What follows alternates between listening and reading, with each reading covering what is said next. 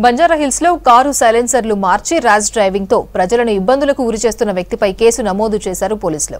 ఆదివారం రాత్రి road number ఒకటి నుంచి జూబ్లీహిల్స్కి హై స్పీడ్తో ర్యాష్ డ్రైవింగ్ చేశాడో యువకుడు.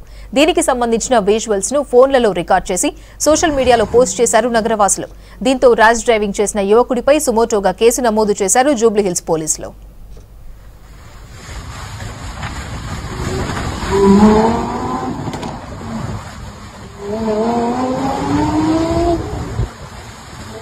Thank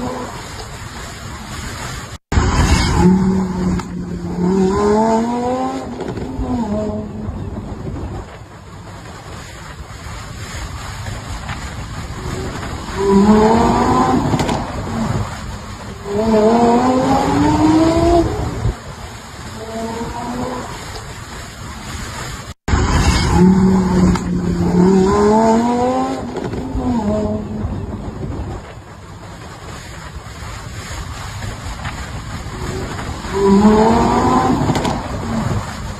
Oh.